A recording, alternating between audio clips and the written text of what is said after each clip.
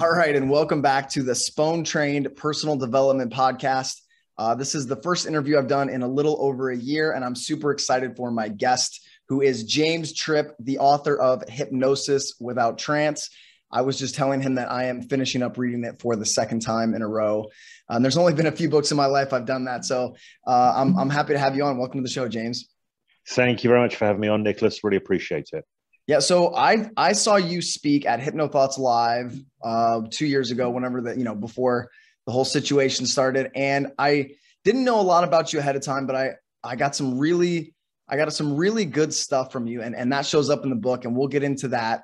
Um, but I want you to start off with in the book you started uh, talking about qigong and how you could see you know this energy was actually potentially you know the use of the mind. And and talk about that story a little bit yeah. Okay. So, um, I mean, this is going back into the sort of mid late nineties, and uh, I've been bought a book by my mother on qigong. I don't know why she bought it. It was it was in a bargain bin somewhere in some store, um, so that's part of the reason. But you know, at, at that point, there was nothing that sort of showed any indication that I'd be interested in that. I wouldn't have picked it up myself.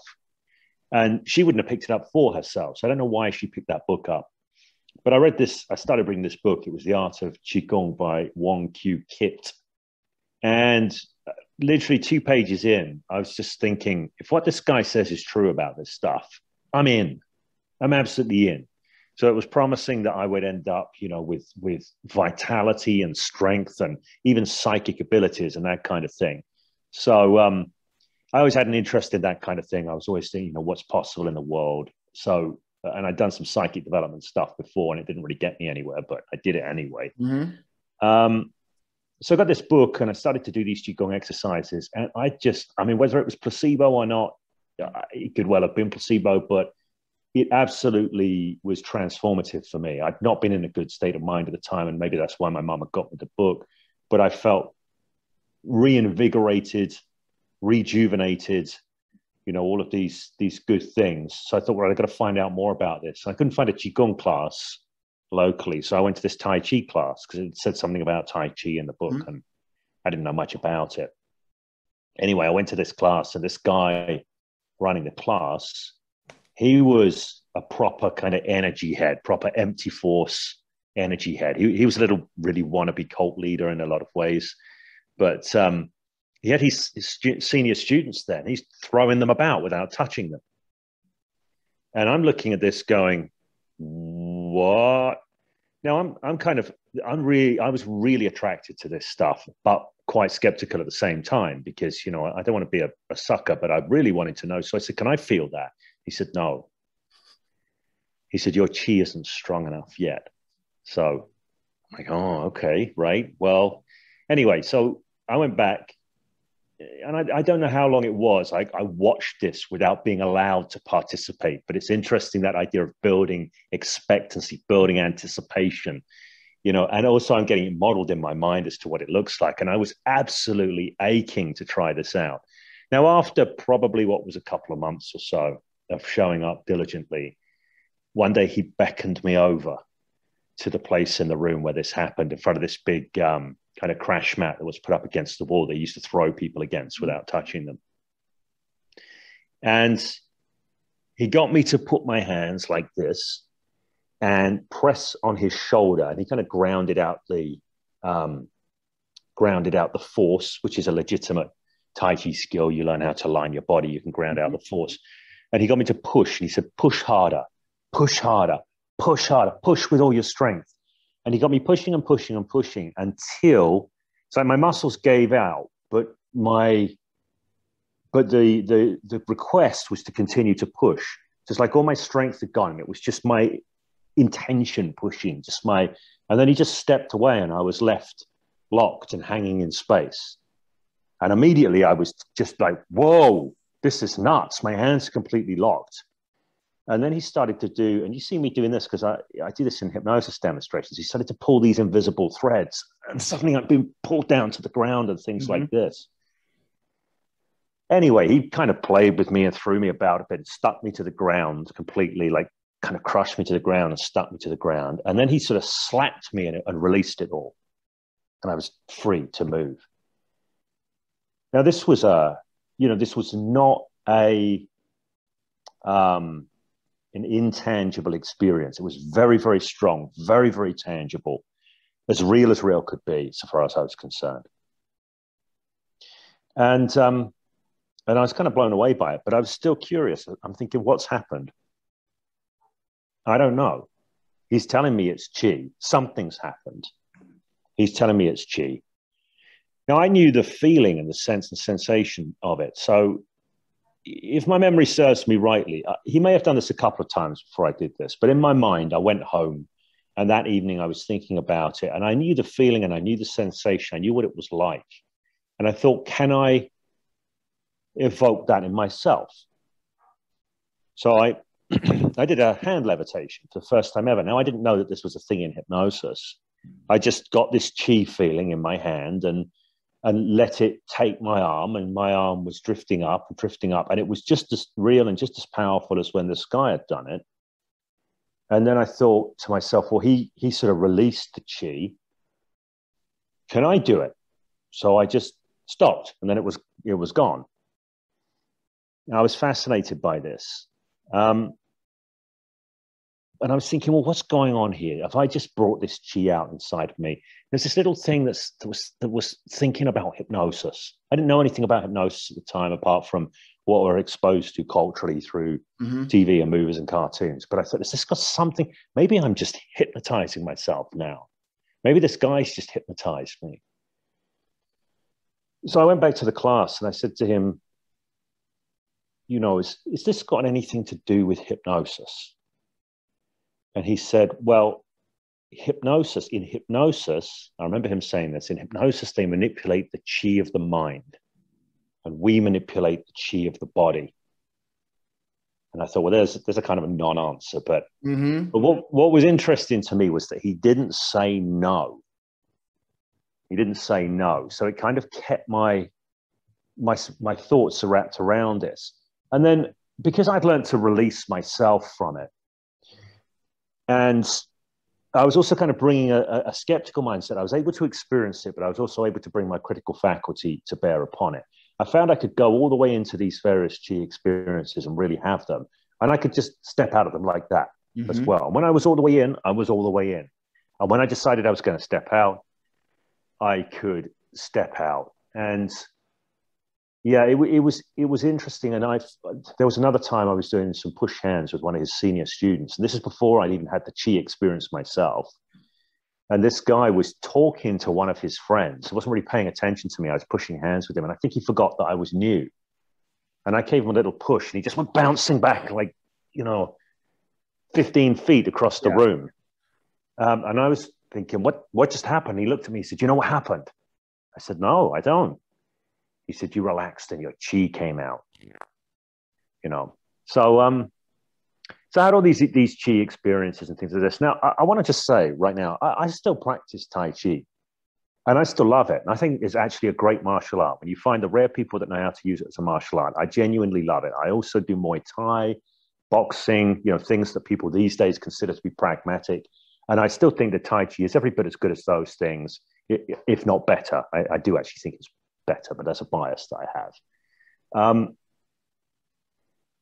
and I'm aware that with legitimate Tai Chi skill, using contact and using touch, you you can uh, you can move people, you can disrupt their balance, you can do all sorts of things that they do not have the proprioceptive um, acuity mm-hmm. to know what's happening to them, so it can feel like magic.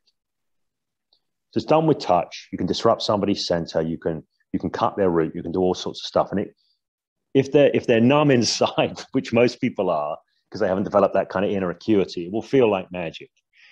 And I'm also aware that when it starts to feel like magic, they can kind of add to it with their own minds. They can make it bigger in their own minds. So I, I think that when people look at these sort of empty force masters and these kinds of things, I think a lot of people go, oh, that's fake and it kind of is, but it kind of isn't. Mm-hmm. Because a lot of the time, those things emerge from real skills. You know, a real master had some real skills and was doing some things, but the, the students became so enamored of that, they started to be taken by it.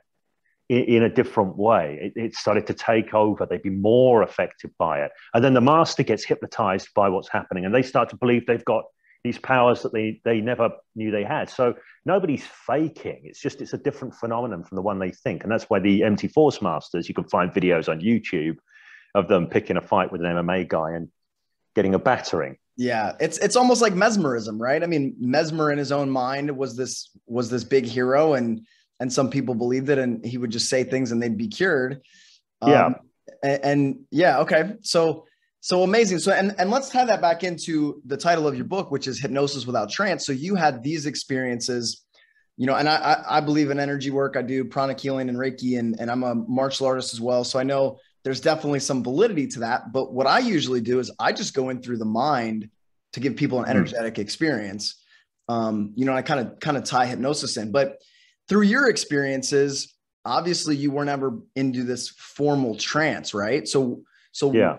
For you, I guess what is what is hypnosis and how do we do it without a trance for those who who aren't familiar with this concept? Okay, so um, I guess I had those experiences early on, and nobody you know, nobody shouted sleep at me at any point, and my eyes were fully open. Now, some people would say, well, you know, what the guy did was a form of induction. And I can see it when people make a case for that. However, what he really did is he just drew me into an experience, very directly into an experience. Now, the reason I came up with that title, Hypnosis Without Trance, is because I was hanging around with a lot of street hypnotists in the sort of late 2000s, 2007, 2008, 2009, 2008 mainly this was. And they were all running kind of old school hypnosis protocols. So they were getting people to push on their hands, sleep, that's right, deeper and deeper and deeper, all the way in now. And then giving the suggestions in a moment when I touch on the shoulder, you will become fully alert, fully awake, but you will be unable to remember your name and doing all of this kind of stuff. Now this is this is like 2007, 2008, and I'd been interested in conversational. I'd had that experience with the qigong guy, the Tai Chi guy, um, over a decade before that, and I'd had an interest in conversational hypnosis, which I'd used as a teacher of martial arts. I'd used conversational hypnosis to um, assist my students in letting go of various tension patterns in their body or making adjustments to what they were doing um, you know, without saying, no, no, don't do that. Try and relax more. You know, none of, you know, I learned to use language yeah, that's a bit more sophisticated. Yeah. Um, and I was doing manual therapy as well around that time. So I was using a lot of uh, sort of Ericksonian language patterns to as an adjunct to the manual therapy that I was doing. Um, so, so first of all, all of this, I didn't like it as a stylistic thing. I'll admit that part of it's just a stylistic thing. I didn't like that whole sleep, deeper, deeper, deeper kind of thing because I found also, even from a pragmatic perspective, it was it was kind of I'm going to offend some people now who are probably listening to this podcast if they're into hypnosis. But in a way, there were certain people out there on the street that found it too cliche. And the fact that it was too cliche meant they couldn't take it seriously. It was too corny. It was too, you know. Um, so I just thought I don't really want to do that stuff, and I don't really need to do that stuff. I also I did experiments with it because I was told these things that people got happening, name amnesias, uh, hallucinations, that they were deep trance phenomena. And sometimes I'd do trance inductions, and I'd take people deep, and you'd see all the classic trance analogs. They're breathing and shift, and they'd be slumped there, and I'd go for one of these deep trance phenomena, it just wouldn't happen. And then other times I'd just go directly for the experience, suggest it, shape it directly. And it would happen. And they'd have no sign. They'd be there just going, whoa, this is incredible. There'd be no, they wouldn't have gone through this phase of looking trancy or anything like that. So that's that's kind of what I meant when I was when I first put that out. I was what I was really saying is look, everyone in the hypnosis world, you think you need to do this induction so that people respond to the suggestions. You don't they're responding to the suggestions. If you can do the induction, they must have been responding to the suggestions that shape the induction. So if you've got somebody responding, that's kind of all you need. It's just about how you engage them. It's just about how you shape that experience directly using your language, your communication, verbal and non-verbal. So that's that's the kind of thing that I um, I ended up doing. Partly for aesthetic reasons, but also because you know I genuinely I kind of call out that old school trance myth that there's this particular state that is required that I, I, there's no evidence for that that I can find. Yeah, and I, and I, uh, you know, I don't teach hypnotists. I generally teach um, entrepreneurs the principles of what I call is, you know, just hypnotic influence. And when right. you're on the call with, you know, I do a lot of real estate. When you're on the call with a seller, you're not going to run an induction and put them in a trance, right? You're going to yeah. use these, these, principles of conversational uh, hypnosis and rapport and, and, presuppositions and all the things we're going to get into.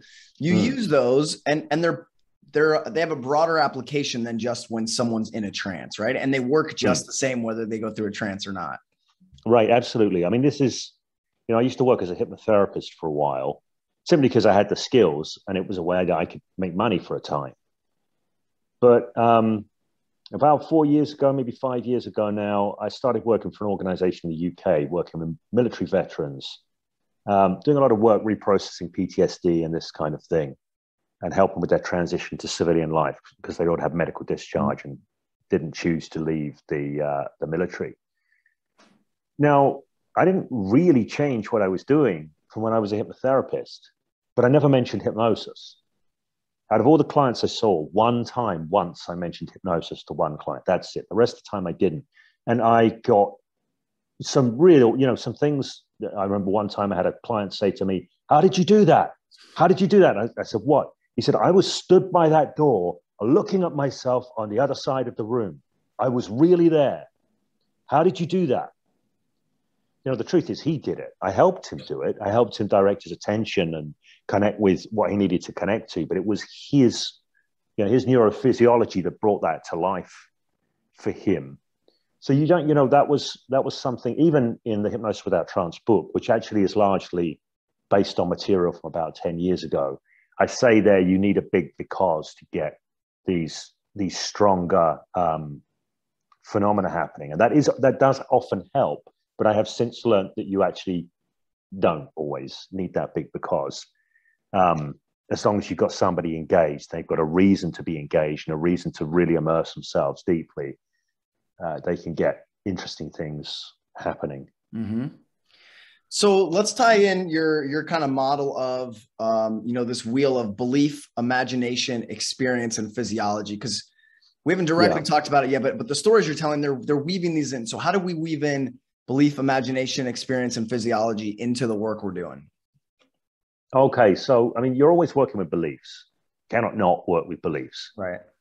Uh, I had this discussion with Anthony Jacquin, who's a friend of mine. He he sort of says you don't need beliefs, you just need you know you need focus and concentration all of this and my counter to that is well nobody shows up without beliefs so beliefs are always at play and being aware of those beliefs is is kind of useful because it helps you work with it and people are going to imagine according to what they believe they're going to move their mind according to their beliefs about how the world works and all of this kind of thing so um, the top box in my loop is is beliefs people have beliefs they have beliefs about the world in general. They have beliefs about themselves, but they also have beliefs about this moment and what's happening.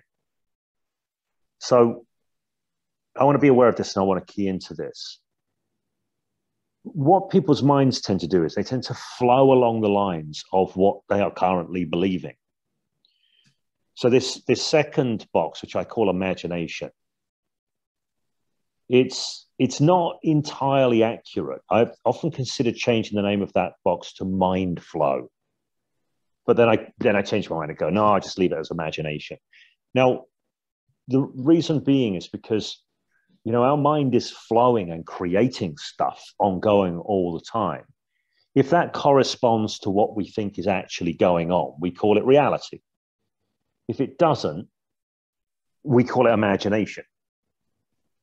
You know, uh, people say that's just your imagination to say your mind made that that up, but it, it's not reality. You know, I give the example of um, my grandfather who came back from the Second World War. He believed his wife, my grandmother, was was cheating on him. She wasn't, but he was paranoid. He had like a like a paranoid condition. And she'd go out to the store, and he'd sit at home imagining like she was meeting some guy and he'd end up right with with all sorts of unpleasant feelings as a result. Mm-hmm. And she'd come back with the bags bags of uh, of groceries, and and he, you know, go, where, where, where have you been? Uh, I've been to the store, you know. Um, now, of course, because she wasn't seeing someone, people would say, "Look, that's just your imagination." But if she was, people would have said, "Oh, wow, you know, how, how intuitive you are. How did you know?" But the same thing would have been going on in his mind. It wouldn't have been any different whether the word corresponded to it or not. So, this mind flow, it's just this idea that, it, that, that it's, it's the stuff that is being made by the mind. So that's box two, and it's, it's made in accordance with beliefs. You know, if I believe a tiger is about to devour me, then I'm likely to create fear and all sorts of things. Right. You know. Um, so box three, so beliefs feed this kind of mind flow imagination. Box three is physiology because, and by the way, this is a model. These things don't happen in this neat sure. sequential or, order. Just to be clear for people watching. Um, point three is physiology because how when the mind moves, the body moves. Whether it's in a gross way, you know, in terms of like muscles contracting, this kind of thing, or whether it's just a change in um, biochemistry.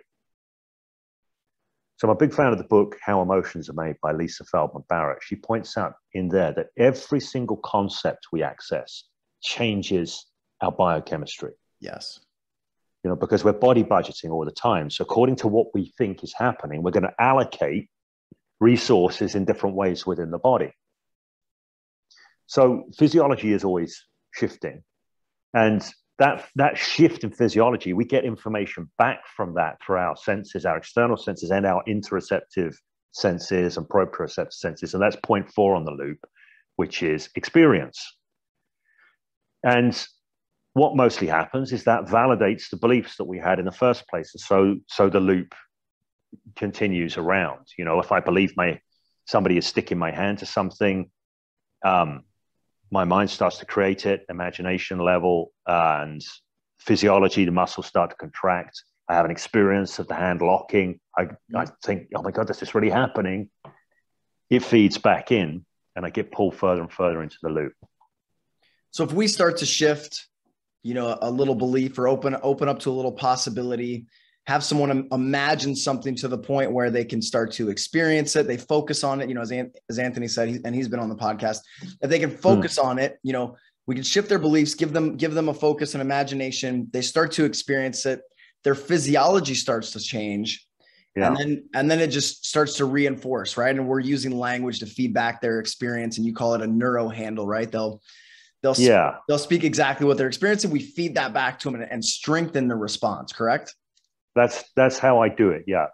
So if we go back to to my example of the the Tai Chi the Tai Chi mm-hmm. guru, the wannabe Tai Chi guru doing the empty force stuff with me, if he could have, I'm not saying he did this, but if he'd have said, "So what are you experiencing right now?" and I'd have said, "You know, my hand is is is locked solidly." If he'd have fed that back to me, locked solidly, and you know this, right? Yes right? Now I, that's that's an amplifying. So i use a lot of this in my work. I'll feed stuff back in to draw somebody more fully into that experience and amplify it more within their within their system because i want to get that loop. I'm, I'm encouraging that loop to spin so to speak. Yeah. Love it. Love it. Um, so we'll go to pacing and leading in just a moment because that's kind of what you're doing here but i want to i want to touch on framing first. Hmm. so when we frame something it's the it's the the box we put ourselves in, right? That maybe we're pretending um, to have an experience or or um, a frame, right? And so hypnosis is is often framed as like this mind control game where it's your willpower against against the subject, right? And so you totally yeah. flip the script on that frame and uh, tell me how you present that to to people that are going to have an experience with you. Okay, um, you know, there's a few different ways I might do this. I might say to somebody, you know, what is it that you think hypnosis is about? And they're going to tell me, obviously. So I'm going to get some information on their beliefs. I want to know what their beliefs are. Now, um, if I was working with somebody and I was doing some street hypnosis and they said, Well, I know what hypnosis is about because I've been hypnotized before, I'd say, Okay, well, tell me about that because I'm not going to, you know, I'm not going to waste that material if it's if it's there. But if they're telling me, well, you know, I'm not sure, I've seen Derren Brown on telly or, or whatever it will be, I'm probably going to blow the whole thing out. Now, this is this is not what I was taught. I was taught whatever somebody believes hypnosis is, you you take that and you run with it and you go with it. But I actually found that people often have really unuseful beliefs. Mm-hmm. And they might have a combination of beliefs that's not useful, which is hypnosis is mind control and only weak minded people have their mind controlled, and I'm not a weak minded person. So, a combination of those beliefs is going to cause problems for engagement. So, what I will often do in a situation like that is I'll say, you know, the, the real truth is hypnosis doesn't really exist. At least not like you see in TV and films. So there's a little there's a little kind of double double punch there. Mm-hmm. The first of all is this is if I'm somebody's you know knows me as a hypnotist in that moment. The last thing they expect a hypnotist to say is hypnosis doesn't really exist. So they go, huh? And then I'll leave a beat for them to go, what? And I say, at least not like you see in TV and films. So they'll go, huh. So now they, they're sort of like, oh, it does exist but I don't know anything about it. Or it's like, so we've created a space to redefine it in a useful way. At which point I'll, I'll just say anything that's going to get engagement, um, which might be something as simple as hypnosis is really just the ability of your mind to connect into different experiences that you might not normally pay attention to. Um, and I might get some reason. I say, you know, and when we do this, enables us to make some useful shifts and changes that we can't do in our normal kind of state of attention or reality. Now, if you analyze what I've just said, it's all fairly meaningless stuff. you know, I, I, I, caught some subtle some subtleties in there that are pretty powerful, though. Yeah, because I'm not looking at the I'm not looking to communicate information at that point. Um, I'm just looking to start drawing the person in a particular right. direction and get them nodding along and going, "Oh, okay, that that makes sense." I don't care whether it does or not, but You're also framing it as a subtle cooperation, right? When we go yeah. into this experience, right? You're not saying, you know, when I put you into this, uh, right? Which is, which is, you know, a pretty powerful little subtle frame shift. Yes, absolutely. I mean, you know, maybe this is partly. Again, I'm I'm not good with people telling me what to do. Me personally, so, yeah. So it doesn't work for me. So maybe, uh, maybe I just project that on other people. But it, it's kind of interesting uh, I don't know if you've ever read Michael Pantalon's book Instant Influence. Have you ever read that? I think I I think I have. It's been, so, it's been um, a few years have, but yeah. Yeah, I, I I really like it. I recommended it to Mike Mandel and Chris Thompson. They absolutely loved it, and they took a load of the stuff and put it into their their framing for some of their processes. Um, and it's got some nice bits of business, but there's that's a kind of research based piece of work. Instant influences. And there's Michael Pantalon. I'm terrible with remembering research, but he shares the research that demonstrates that the more you respect people's autonomy, the more they relax and just open themselves to your influence. Mm-hmm. So, as long as there's, there shouldn't be any barrier for a, you know, for a hypnotist, if somebody who calls themselves a hypnotist or someone who wants to be a professional influencer of any kind, um, if they recognize this, there's no reason not to put frames in place to have people relax and think, oh, it's all right. I'm not being coerced and manipulated. I'm completely free to do whatever I, I want to do. And then they relax and they stop pushing back. And that critical faculty is willing to go and take a back seat. Now, of course, the only barrier to this is if somebody has a need, and I have met some hypnotists who have a need for the client to believe they're being controlled by them for, for some reason. Like it's just like an egoic thing, I guess. Yeah. You know, but um, it, it can get in the way. And, and of course, sometimes some people actually like to be dominated like that. So that might work as a frame for them. But generally, I'll pick that frame, which is much more about look, um, we're in this together. We are co creating this experience. And I'm not necessarily going to explicitly say these things, but I am going to implicitly have that embedded in my framing. So I'll say things often like, I'm just going to invite you to move your mind in different ways. I'll use a line like that.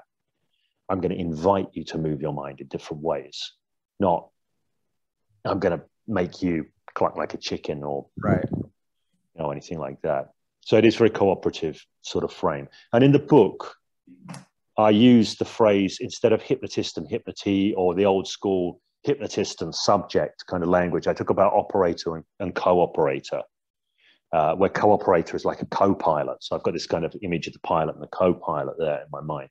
I don't share that with clients, but the reason that I put that, I kind of really brought that out front and center in the book is because I wanted people reading it to really get that idea. If they're going to go out, they're going to be either doing hypnotic phenomena work or change work or just general influencing work.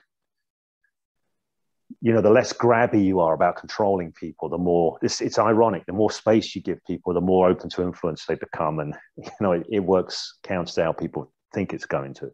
Absolutely, and I think that that co-operator and operator frame is is really important um, you know especially when you're doing some some of the more sensitive things like like coaching and, and therapy and, and things like mm. that um, so let's get into pacing and leading and leading a bit because i think those are kind of at the core of a lot of hypnotic language and, and the way that i teach hypnotic influences um, you know once you're in rapport with somebody uh, so you're in rapport and then whoever has the most certainty becomes the influencer and then as you guide their focus, they have an experience. And so a lot of your language patterns and a lot of the way you frame it ties in perfectly where rapport is meeting somebody where they are, right? Getting into, I, mm. I call it energetic syncing. And then we just, we guide their focus with leading, right? So, so tell us a little bit about pacing and leading, how to use it in, in demonstrational hypnosis, but also just in life in general and, and conversations and influence. Right. Um, so pacing and leading happens on a lot of levels. And the most basic level for me is the kind of energetic level. Now, mm-hmm. we kind of talked about energy and chi and stuff like that earlier on.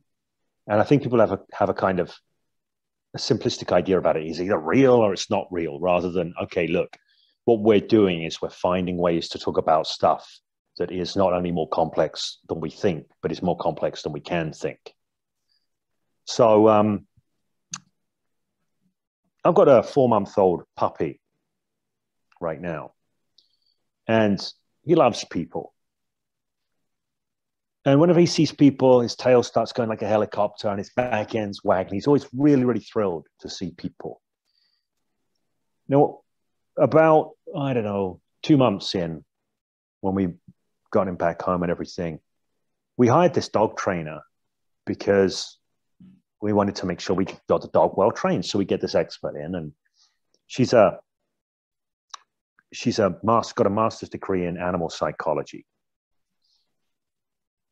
So the interesting thing was is the buzzer went and she came to the door for the first time. And I opened the door, and Otto, my dog, he goes to run forward and then he stopped. I saw the moment happen. She just kind of went like this and went into some kind of mode. I don't know what it was, right? Well, I, I can guess what it was. And he stopped and froze and backed right up and hid behind my leg. And he's never done this. He'd never done this with anyone before, and he's never done it with anyone since. And I'm thinking, this is the professional dog trainer. What's just happened here? Mm-hmm.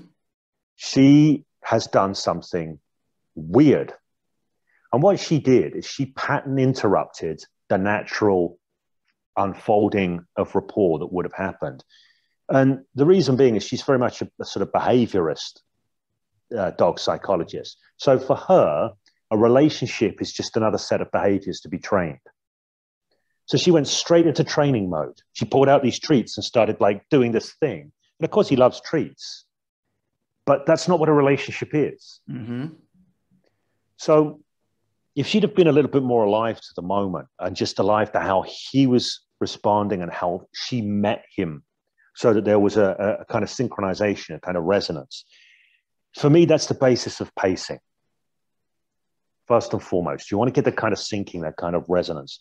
Stephen Gilligan uses this phrase limbic resonance, which is poetic pseudoscience, but I like it a lot.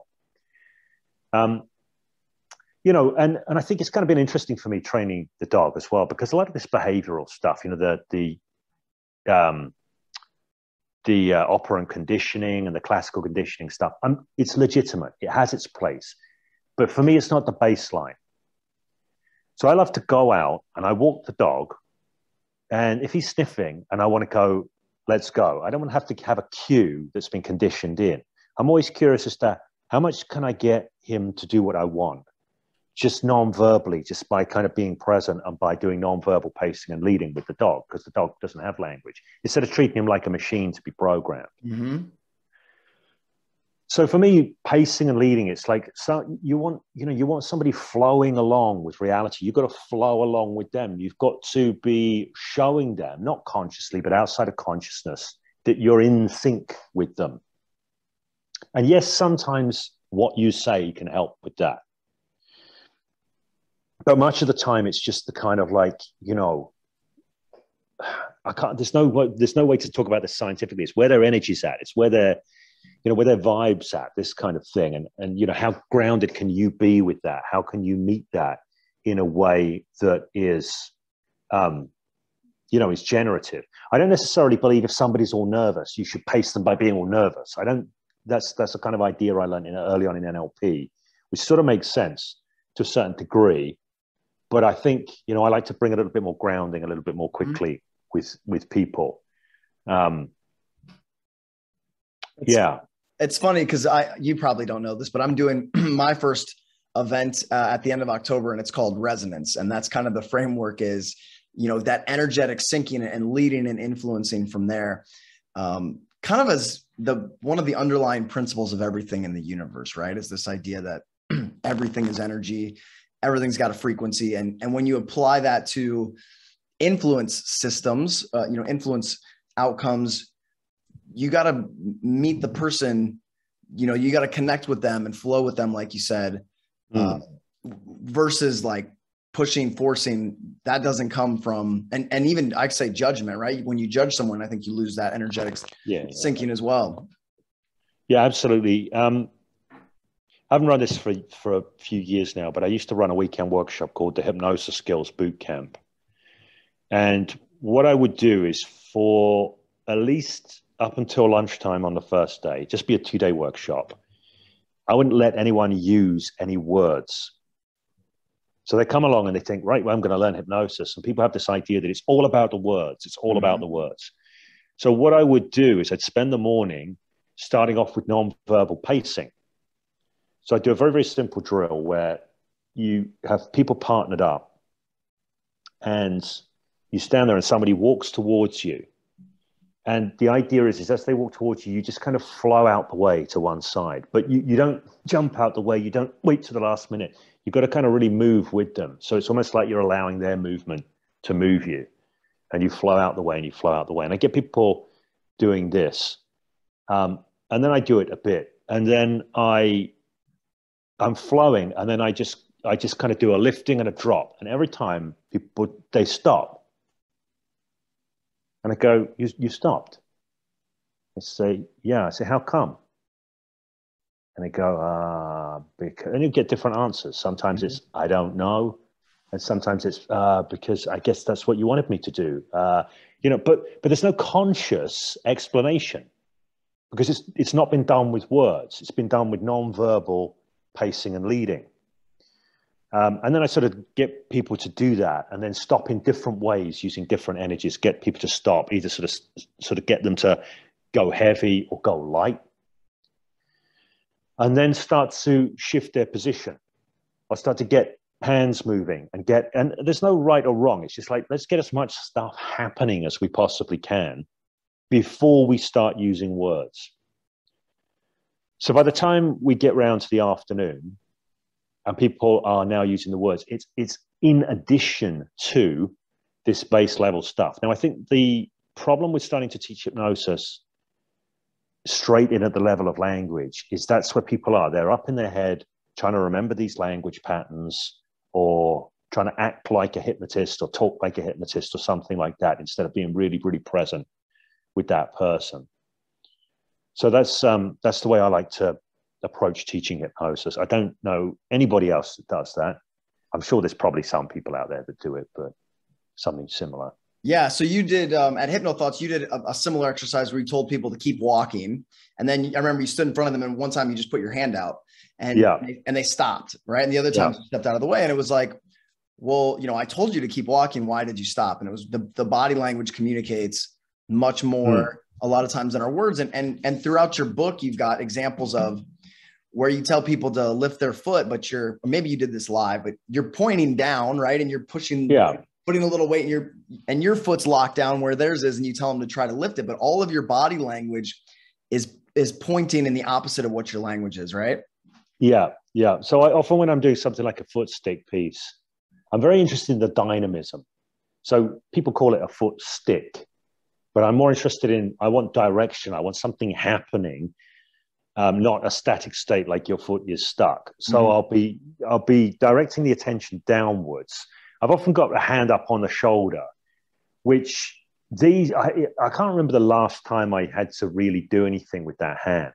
But again, it's still a non-verbal communication because I'm not pushing or shoving, but there's still a point of touch mm-hmm. and, a, and, a, and a direction being indicated, which is so subtle it's outside of consciousness. Their eyes are down on their toes and and I'm I'm I'm sort of lent down there looking and getting complete fixation on that point.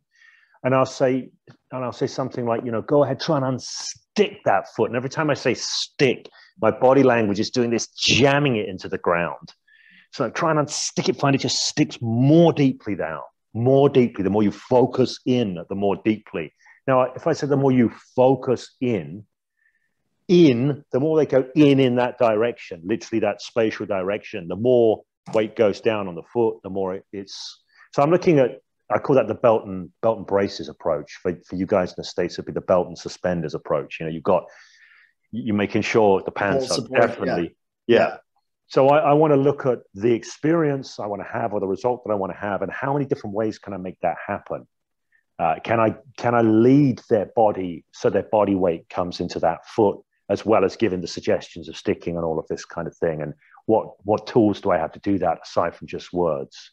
So for people that don't understand, you know, uh, I have a lot of entrepreneurs. Some people have entry level hypnosis, and some that listen to this are hypno- her hypnotists. But for those that don't understand everything that just went into what you described, you're in rapport with them. You're you're feeding their language back. You're pacing their experience. You're leading them to a new experience.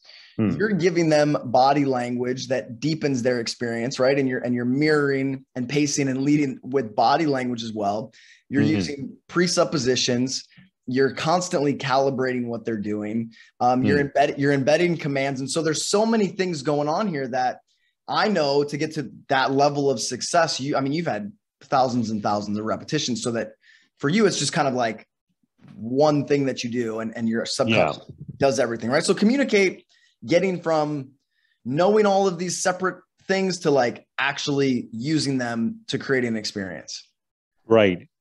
Um, as you say that, I'm thinking about somewhere in the Tai Chi classics, it says you must do it with one chi. Um, and I know what they mean by that because Tai Chi, Tai Chi is a, a fiddly old art. It's not, you know, I love boxing, I love Muay Thai, and there's a lot of, you know, you can get real high art with that. But Tai Chi's got a lot of bits and pieces, a lot of details that you've got to put together. And if you can't just do it like that, if they don't fully synchronize, you're not going to make it work. It's not mm-hmm. a fast learning art. It's the same with hypnosis, in my view. Now, I want to just say you can get a lot of stuff happening quickly. I've had people, many people, contact me and say, I watched one of your YouTube videos. I did it with my uncle and it completely worked you know, and they're blown away. Now, it doesn't mean that they've got a high level of skill and they're going to hit that every single time. Nobody right. hits it every single time. Um, but there is there are a lot of layers, and I'm fully aware that I'm a geek for skills. So I love the process of learning and developing the skills. I love that revisiting over and over again. I, I think this is unusual. I was just saying to somebody about this yesterday that most people I meet in martial arts, they just want somebody to tell them what to do. They're not really doing any of their own problem solving. So they go, well, how do I do this? How do I do that technique? They're not looking and going, okay, so what's happening here and how can I make this work better? Mm-hmm. What are the, you know, so, so I'm always asking these questions about anything that I'm learning. I've had some fantastic teachers, but I've never seen it as their responsibility to instruct me in the correct way. For me, they're just resources. They're, they're sources of information, information, they're sources of perspective. In the end, I want to keep looking at it and keep solving the problem. It's like a puzzle box. So a lot of the, the sort of pieces that I've done over and over and over again, like foot sticks or hand sticks or uh, uh, name amnesias or invisibility pieces, a lot of these stock street hypnosis pieces, I've approached those from a variety of different perspectives. And I'm always looking at, at any little bit of business that's going to add an extra percent to my hit rate or something like that. You know, if I if I had a 50% hit rate, what can I do to take it to 51? What can I do to take it to 55, to 60, to it's just the details, the details, the details. Um, now, I don't do street hypnosis anymore. You know, I'm, kind of did it enough and I'm done with that phase. And some people say, Oh, James, you don't do it anymore. Why not? Because I'm done with that phase. And in a sense, it's kind of pointless. It doesn't really achieve much in life. It has done for me, but I think it's a great place to learn things about people mm-hmm. and about communication in general. Um, things that you can take with you in your real life so to speak. You know, so I'm a lot, a lot, lot better at running generative business meetings than I used to be because of the way that I've learned to think and approach things, the way I've learned to layer in different levels in communication.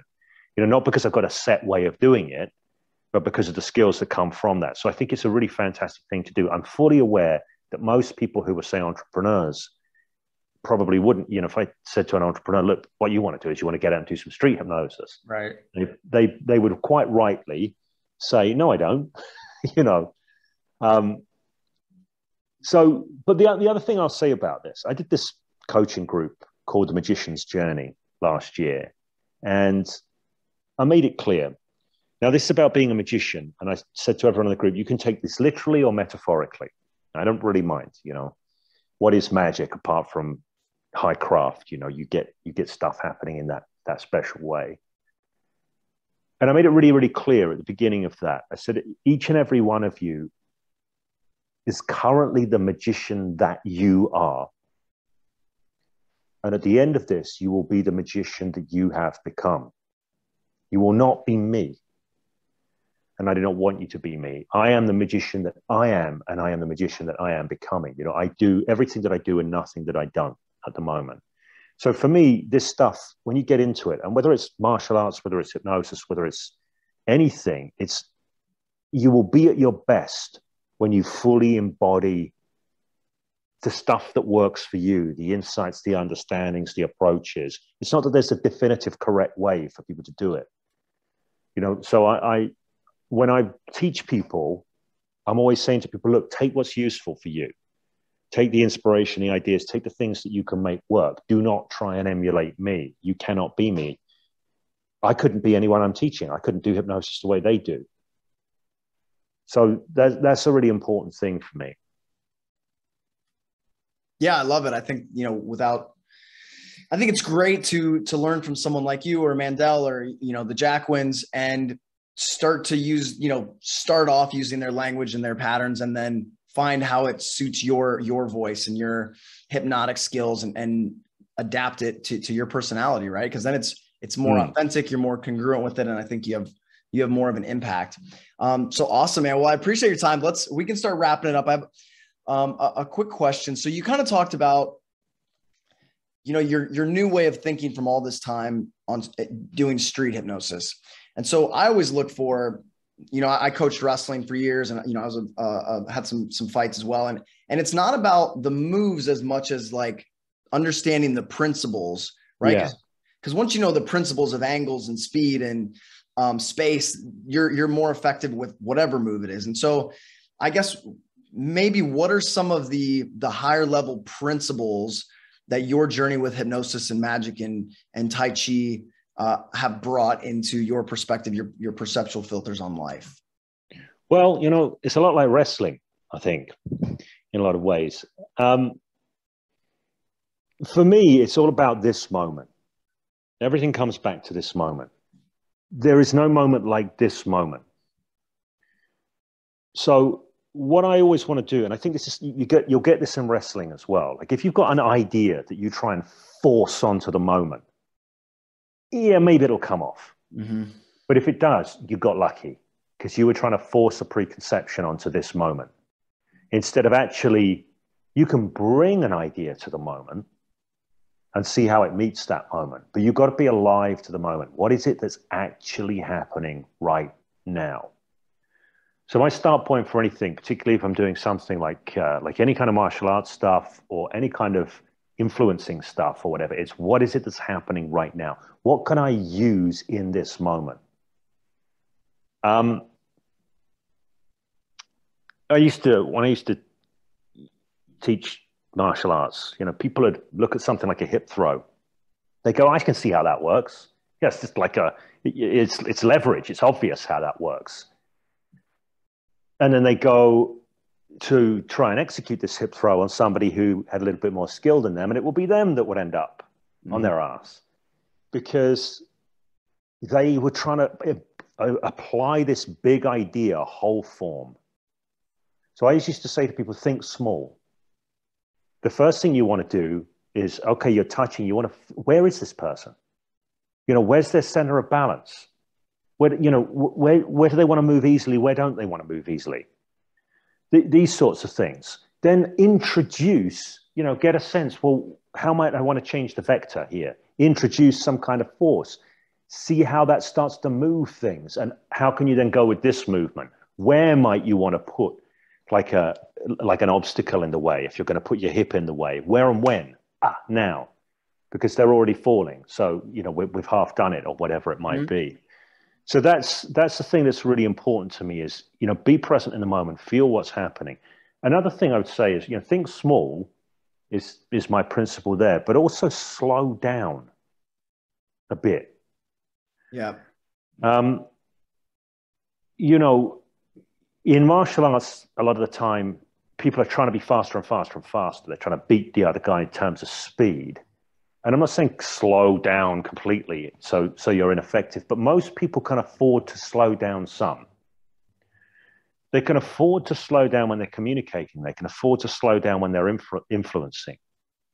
They can afford to allow a bit more space sometimes.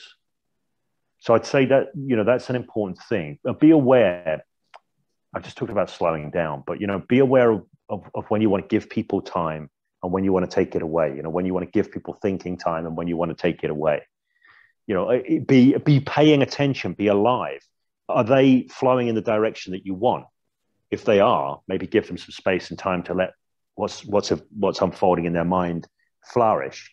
If their critical faculties kicking in, you might want to be taking away thinking time and space at that point. You know, like, oh, um, you know, that kind of thing. Just some some pattern interrupt. Mm-hmm. Uh, so you know, the, these kinds of things are are principles. I would say always, always be grounded. Um, that's a huge thing. So people buy what's solid, and if you're not solid, they're not going to buy you. So if you're going to influence, you've got to be grounded. You've mm. got to have that that that groundedness uh, about you, and I think that's uh, that's something that it's the trick of also being authoritative or grounded without being authoritarian. You know, so it's just like you can you can keep that, you can be directive, you can give people what seems like a lot of space a lot of freedom. You're not bossing people about, but at the same time, it's not. It's not about being um, like, well, you know, you you can do what whatever you want. Really, you could put your hand here or there. You know, that's not that's not going to work. Being a leader without being a tyrant, right? Yeah, being a leader without being a tyrant, authoritative without being authoritarian. It's just kind of finding that that blend. So, you know, you might want to get someone to put their hand down. You go, hmm, you left or right handed you know, it's not bossing and it's asking. It's it's not, you know, it's like uh, I'm left-handed. I'll tell you what, we do this with the right. So I'm kind of like, uh, I look like some people might go, well, that's being hesitant. But my energy is grounded while I'm doing it. Mm-hmm. You know, I'm actually just pantomiming a bit of evaluation in my mind because if I pantomime evaluation, they're gonna they're gonna think, well, there's something for real going on here because otherwise he wouldn't have to think about it, would he? So, um, so yeah, this this kind of stuff uh, this kind of stuff comes in a lot. I, I would also say if there's one piece of advice I was going to give anybody when it comes to influence, which hypnosis is, it's about influence, is pay attention to your ground of being first. Every single time, your ground of being first. And I learned this years ago from doing street hypnosis, uh, doing close up magic, this kind of thing. If you go up to a group of new people, you have to become the leader of their group immediately. And they don't know who you are. They haven't asked you to come over. They're not hanging around going, Oh, I wish somebody had come up and hypnotized me, or I wish someone had come up and do some magic for me. So they, they don't need you, they don't want you. And you have to you have to go in and become the leader straight away. Now, the very, very first time that I went up to somebody who I didn't know to do some magic, never done it before, people I didn't know, I went up to these two guys in a bar in the town I lived, and I went up and I said, um, Excuse me, um, I'm just learning some. That's as far as I got. And the guy just turned around and said, You know, keep it clean. He said, F off, mate. Okay. So I walked away. Now I thought to myself, what did I do there? I brought doubt. I brought insecurity. You know, I brought all of all of my fears. I brought them. And that's what I got back. So I call that the uh, the picnic principle. Be careful what you take to the picnic because it may well be what you end up eating. And uh, and that's what happened there. So I, I, you know I learned to to go up to people and go, hey guys, um, you know, or I do non-verbal stuff. When I was doing card magic, I would I'd have a deck of cards like this, and I'd stand a big group of people. I kind of look at them, and I'd wait till I catch someone's eye, and they'd look over at me, and I I just go like that, and they go, because they wouldn't understand. They go, what? What? And I go, oh. And I come over and go, cards. I go, what's the most interesting thing that's happened to you this evening? And they go, ah. Uh, and then I'm in. So, you know, I'm just going straight in using a non-verbal distance thing, but it's all about your ground of being. That's what people will buy. That's what they will accept. That's what they will reject straight off the bat. Well, it's just like when we're hypnotizing somebody, we're feeding their experience back to them. You know, when we go up to a, a group of strangers, they're going to feed our emotions back to us with their response, right? And so, yeah, having that that certainty and confidence and playfulness or whatever it is, uh, will either open up or, or close you off to to to those groups and influence. Yes, there's there's a whole load more I could say on that topic, but I'm aware of the I'm aware of the time yeah. we got. So well, we've been going for a bit. Well, I appreciate your time, James. And again, uh, Hypnosis Without Trance, fantastic book. I highly recommend it. Uh, if you want anything to do with hypnosis, um, demonstrational hypnosis, or even just understanding language patterns for influence, it's a it's a brilliantly written book. So highly recommended. James, I'm looking forward to seeing you speak. Hopefully at HypnoThoughts or some, somewhere in the next few years here as the world yeah. Opens up. Comes back to life. Yeah. Yeah. Yeah, it'd be nice. Um, it's, it's been a strange couple of years. Normally I'm traveling around the globe, but here I've been sat mostly in this chair on Zoom for, yeah, for the last couple of years now. So I could throw my computer out the window and not be too upset about it. Yeah. Um, but this has been brilliant. Well, thank you again so much. And uh, yeah, looking forward to seeing you. Okay. Thank you very much. Appreciate you having me on.